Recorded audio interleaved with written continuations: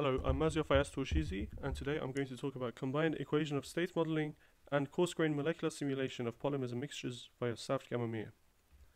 Polymers are versatile materials, as you know. They're ubiquitous in almost every product we use, and they will be useful in the future as well as um, we are making technological advances. What's really interesting about polymers is stems from the chemical variety and the structural variety. The chemical variety is due to the arrangements of the different monomers that constitute a polymer, and structural variety comes from the way that they're arranged as well. Um, for example, if you have a linear polymer or a branched, cross-linked, or a star polymer as well.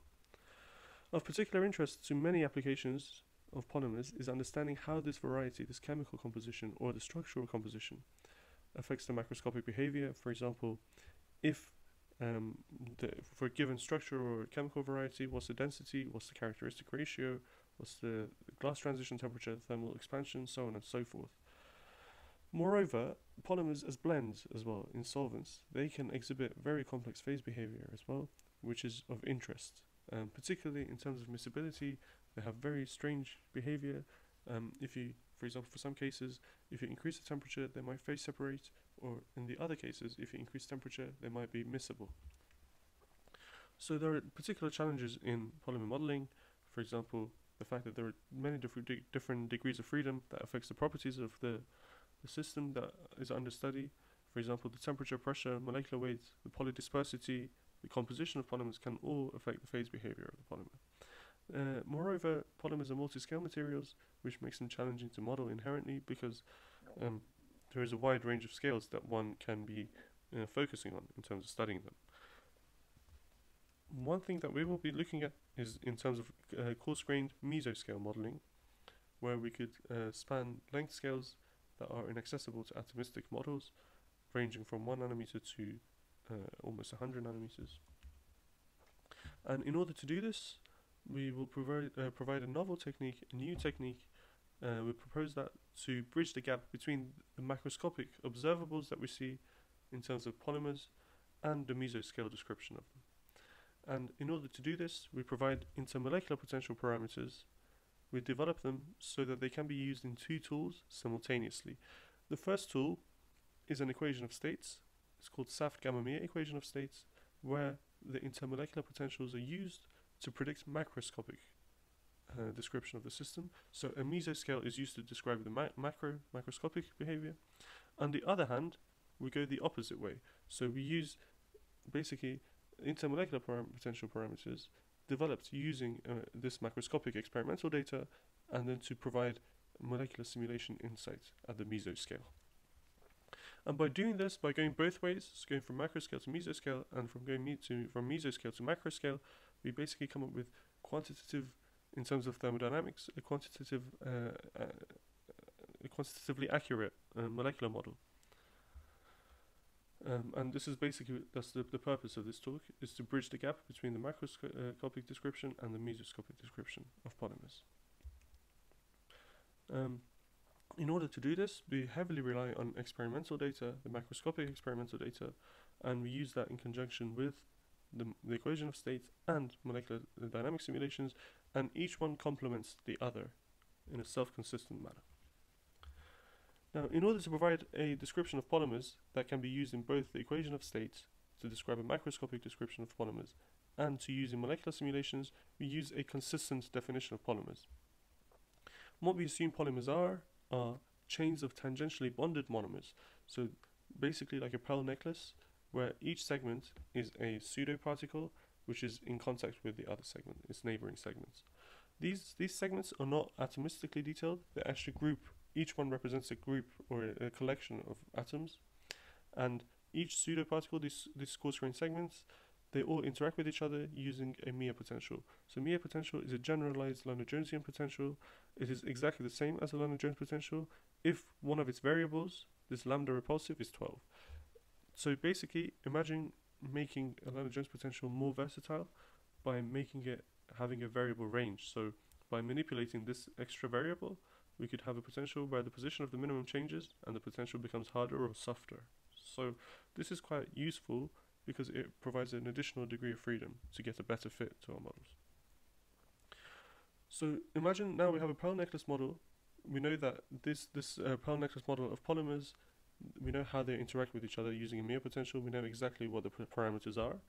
We could feed that directly into the equation of states, which is our tool number one, to predict the thermodynamic macroscopic descriptions of the system. So with SAFT, we, we could directly put these parameters in. So this epsilon, sigma, and lambda of the Mie potential. This this equation of state that we use is called statistical associating fluid theory or SAFT gamma. And the way it works is that it, it has uh, it takes into account the sum of three contributions.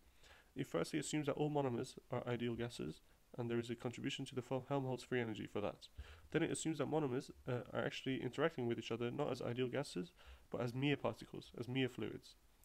And the final contribution is that it assumes that actually molecules are composed of chains of these monomers in our system.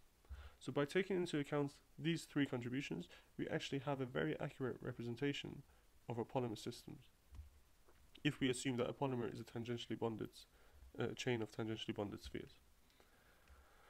So this provides a very useful tool because actually we have a full description of a Mie fluid uh, of any chain length.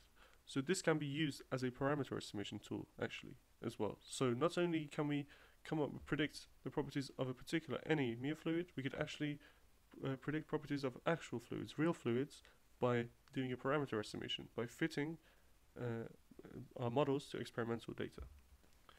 So this is what we do in terms of parameterizing polymers. We take experimental data, we use the equation of states uh, to as a parameter estimation tool to obtain the best epsilon, sigma, and lambda for a given uh, model that can provide the best fit to experimental data. Once we have that, we could then use the equation of state to predict other properties of that same fluid. For example, we could fit the parameters to pure component data and predict mixture properties.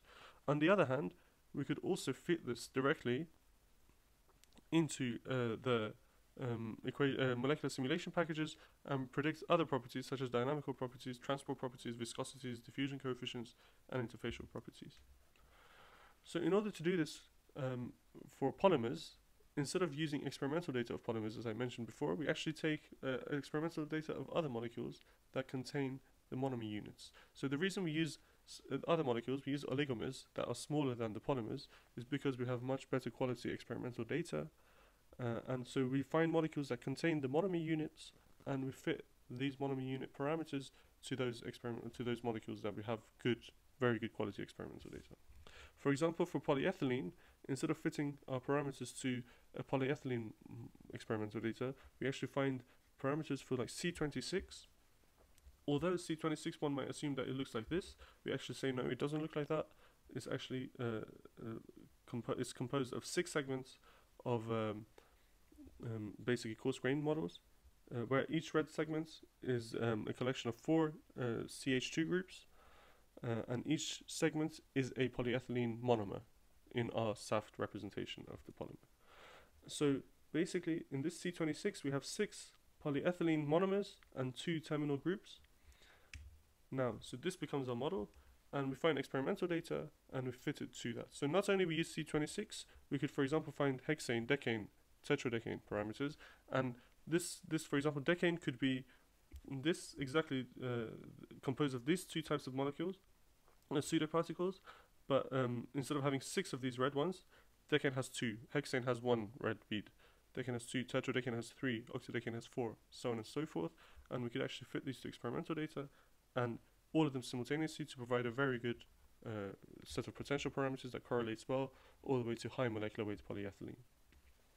So once we have the parameter for one single red segment, we could extend that. We could replicate the. We could come up with a model of a chain uh, of any number of red segments that would be the polyethylene model that we have. So we could predict a range of properties using the equation of state. Once the equation of state is good enough, then we could go and directly do uh, study stuff in molecular simulations, and we could get the same microscopic description used from the molecular simulations as well. So a particular advantage of this method is that parameters are state independent, and we could very efficiently get both, both pure components and cross-interaction coefficients, interspecies coefficient, uh, interaction parameters as well. So uh, also, before we could do simulations, we could always know a priori if we are in a miscibility or an immiscibility region as well. The polymers studied in this work are six polymers, are very uh, conventional ones.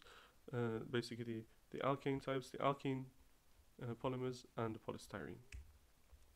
In terms of homopolymer melts, so just these are single phase pure component properties, we could actually predict their properties by fitting the parameters to oligomers. As you could see here, for example, we could fit the PVT data very well, very robustly, and although we just fitted all the parameters for the two oligomers, we could accurately predict the densities of different polymers at a range of different temperatures and pressures. Not only we could do that with the equation of states, we could actually do this with molecular dynamics simulations. As you can see that there is a very good correspondence between the results obtained from molecular simulations to those obtained from the equation of states at different temperatures and pressures.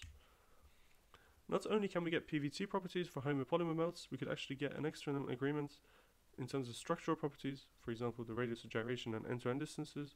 I'm demonstrating one case for polystyrene, but we could also get very accurate mechanical properties, such as the isothermal compressibility and, uh, for example, the, the characteristic ratio, which describes the chain stiffness to some extent. Not only in terms of homopolymer melts, we could actually characterize these polymers quite well in terms of their uh, PVT or structural properties. We can actually look at the mixture properties as well. So these are particularly challenging, as I mentioned before, because polymers exhibit a wide range of miscibility behavior in solvents and uh, as in blends. So one case, very common one, is the upper critical solution temperature behavior, where we increase the temperature and we get miscibility. Type 5 is the exact opposite, where we increase temperature and we get miscibility, immiscibility, and we have things in between as well. So here we'll demonstrate a few examples where we have excellent correspondence between the simulations, the equation of state, and experimental data. To measure LLE uh, using molecular simulations, we use the method of Gelb and Muller, we split the simulation box into little boxes and measure local compositions. If we have a bimodal distribution, we are in the LLE region. If we have a unimodal distribution, we have we are in the miscibility region. So the first case we show is the LCST, so uh, low critical solution temperature. This is the case where we increase the temperature and the system becomes immiscible. Um, and as you can see here, for example, on the left-hand side, uh, we could see uh, the, the agreements between the molecular simulations, which is the red and the blue dots, and the black line, which is the, the results of the equation of states, and the black symbols, which are the experimental data, we get an excellent agreement between all three systems. And this is purely predictive, no adjustable parameters were used to, to model the polyethylene with pentane. More interestingly as well, we could not only get LCST behavior, we could get upper critical solution temperature behavior as well. So we increase the temperature and the system becomes miscible. This is a case of low molecular weight polystyrene in N-hexane, and we increase the temperature and the system goes from a bimodal distribution to a unimodal distribution. Now, if we take this system, so polystyrene and N-hexane, and make the polystyrene slightly uh, higher in molecular weight, this is a very interesting case where we actually have a composition-dependent miscibility, whereby uh, if we are in the global composition of 30%, we do not have any miscibility, everything is immiscible, everything is bimodal distribution. If we increase the global composition of a high molecular weight polystyrene and N-hexane, there is a small region of miscibility where we get a unimodal distribution. This is in quantitative agreements, uh, the results of the simulations with uh, the results of the equation of states, again highlighting the robustness of our methodology. Um, and the equation of states is in quantitative agreements with uh, the results of the experimental data. Okay, we take the same polystyrene and we put it in N-heptane instead of N-hexane. N-heptane is slightly more miscible with polystyrene, and we get a type 4 phase behavior again, we get unimodal and bimodal distributions. Again, excellent agreements with simulations.